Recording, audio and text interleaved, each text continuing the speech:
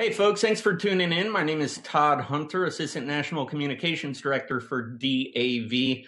Now, we normally like to do these information seminars with all of our members uh, at our annual Midwinter Conference in Washington, D.C., as well as our national convention, wherever that might be. This past year, scheduled to go to, da- to Dallas, but obviously, because of the COVID 19 pandemic, we unfortunately had to cancel. But that doesn't mean we don't want to get some information to you, and that's what we're doing here today. With me, my special guest is DAV's Inspector General Ed Hartman. Ed, thanks for joining us today. I'm hoping you can uh, just introduce yourself a little bit to our audience.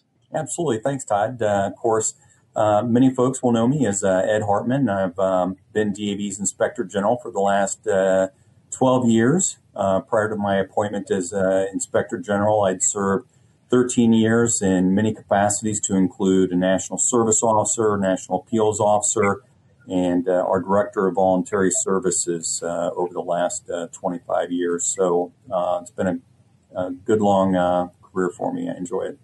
And as our inspector general, tell us a little bit of kind of you know what that entails for you. As DAV's inspector general, it's very broad. It's it's primarily to uh, maintain our uh, positive image in the community and to ensure that all of our members, chapters, and departments are in full compliance with the Constitution and bylaws of our organization at all levels. Okay, and as most folks know, we are a nonprofit organization. We rely solely upon the very generous donations of the American public to continue our operations, uh, giving uh, free services to the men and women who serve. Um, tell me why some people donate to our entities.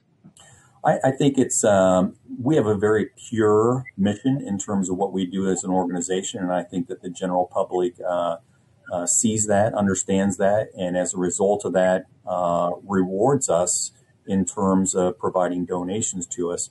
Uh, over the last 100 years, we have been widely known and very highly re- uh, recognized as being the premier organization of providing services to disabled veterans and their families of all eras, not just a particular uh, era of veterans, but uh, uh, any veteran of any era.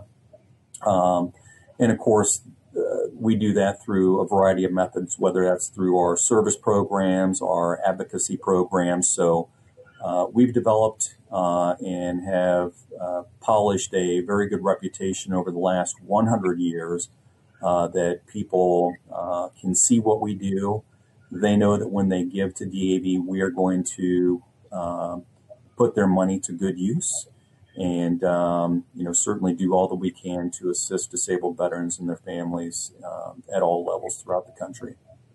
Okay, so what kind of acti- activities can DAV departments and chapters support?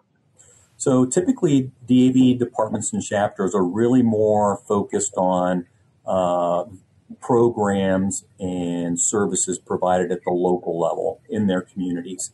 Um, so, uh, in many instances, uh, it's a matter of supporting their service officer program, whether that be their chapter service officer, their department service officers. Um, it could be their DAV transportation network, for which we are uh, uh, very widely known. Yep. Every year we provide you know, better than 100 uh, uh, vehicles and vans that are donated to VA medical centers across the country.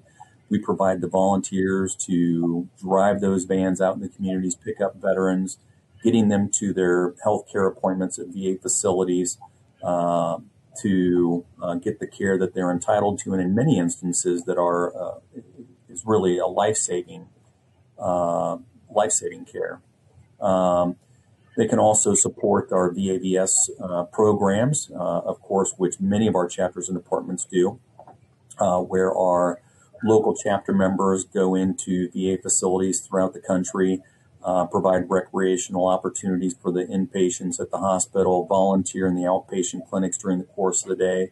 They also provide the same services at state uh, operated veterans facilities and nursing homes across the country as well. So, in addition, of course, DAV's uh, over the last um, probably 20 years or so has, has been very um, uh, well recognized for our involvement with our rehabilitative events associated with the Winter Sports Clinic and more recently the TEE tournaments. So all of those things that are DAV branded, that uh, DAV is in one way, shape, or form associated with, those are all activities that DAV departments and chapters can certainly support without any question in terms of uh, anyone coming back to them and questioning where their donation went, that it wasn't necessarily spent on a DAV related activity. So uh, we also have our National Service Program, our Charitable Service Trust, and Columbia Trust, which are all DAV uh, exclusive. That DAV chapters and departments can certainly uh, continue to support in the future uh, that would absolutely qualify as a DAV appropriate expenditure of funds. Okay, you talk about acceptable expenditures of funds. Tell, can you run down a little bit of kind of what kind of expenditures are considered unacceptable? Sure, there are uh, uh, a, good number of unacceptable expenditures. Um, one thing that we have to remember is when we go out in the community and we present ourselves to the American public, uh, whether that be in front of a Walmart or a Sam's Club or a grocery store, and we ask for donations, we're doing so using the name of DAV. So it's our responsibility to spend those funds um, as uh, provided by the donor. Uh, one thing that we should absolutely never find ourselves in a position um, of doing is providing those donated funds directly to other veteran service organizations. So it makes no sense for DAV members to stand out uh, and conduct forget me not drives to raise money to support DAV programs in their communities to simply turn around, you know, the very next month and provide a blanket donation or a general donation to another nonprofit veteran service organization. Um, if donors wanted those funds to be provided to another veterans organization, they certainly would would have provided them directly to them. Uh, they didn't. They provided those funds to DAV, and so they have an expectation, and we have an obligation to ensure that those funds are spent on DAV specific programs. Now, that's not to say that um, DAV departments and chapters cannot support uh, very unique and specific programs that are uh, provided by other nonprofit organizations.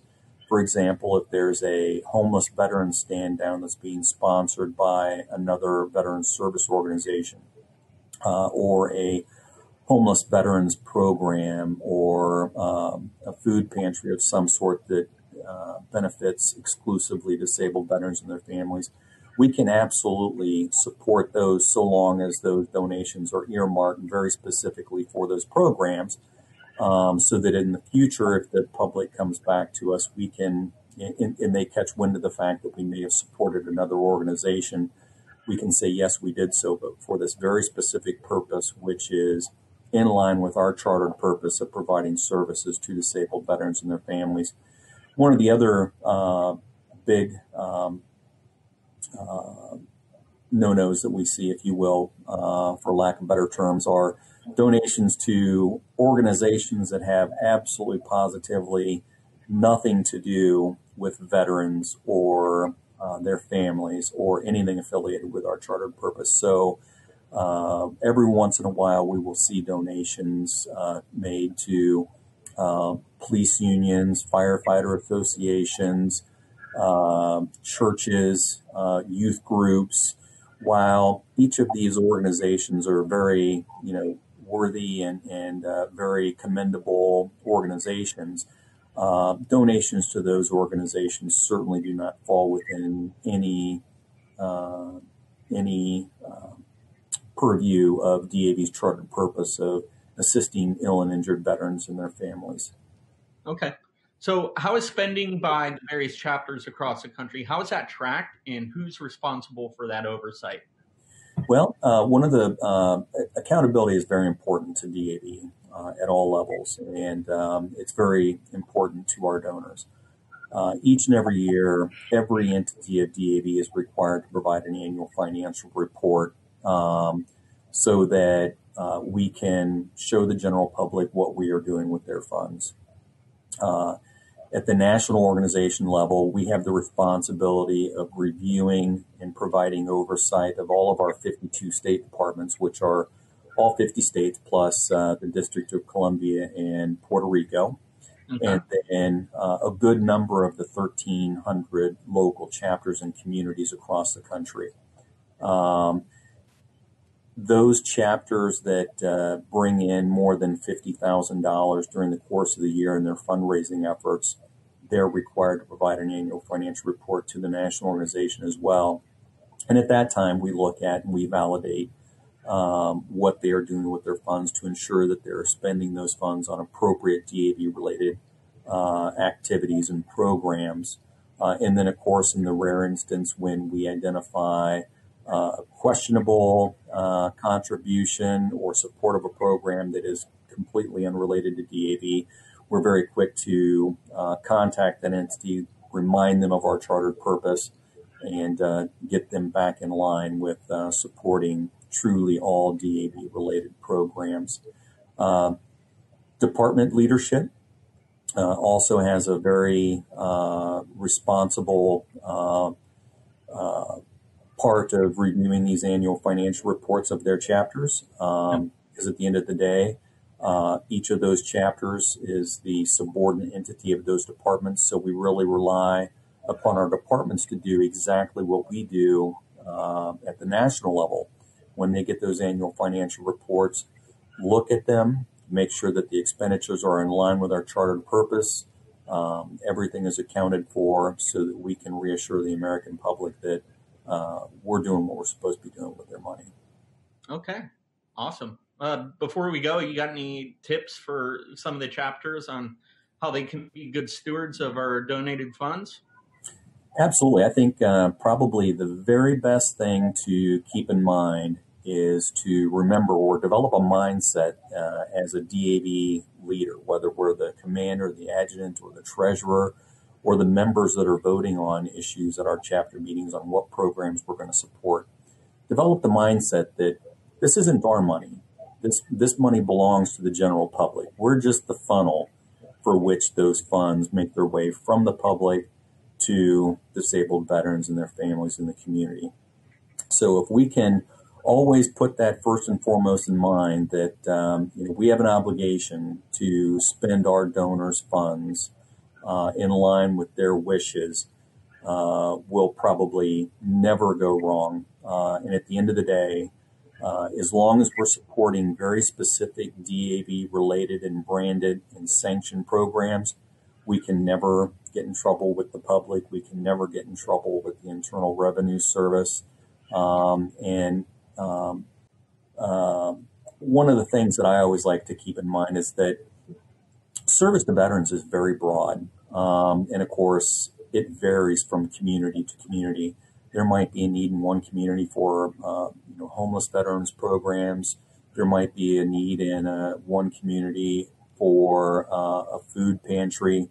Um, so we don't want to ever find ourselves in a position of telling or dictating uh, what a chapter or department should do with their funds that they bring in from the public, uh, so long as that uh, they are providing those funds uh, in a reasonable way for the benefit of ill and injured veterans and their families of all eras across the country.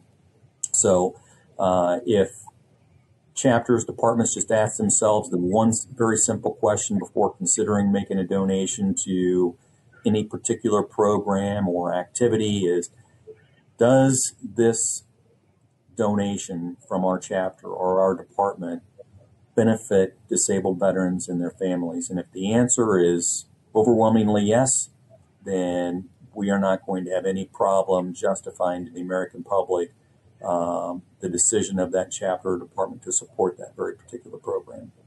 Okay.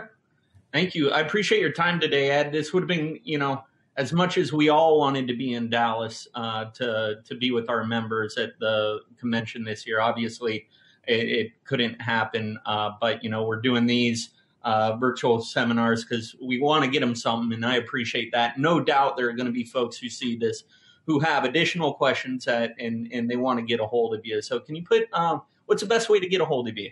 For those sure. Uh, absolutely. The best way to get in touch with me is um, uh, call national headquarters and ask for me, or simply probably the best way to um, ensure a very timely response is to shoot an email to me. And my email address is simply ehartman at dav.org. Ed Hartman, DAV's Inspector General, thank you so much for your time today. And uh, hope you stay safe through all this. And, uh, you know, we'll see each other again. All right. Sounds good. Hey, thank you very much, Todd. Take care, my friend.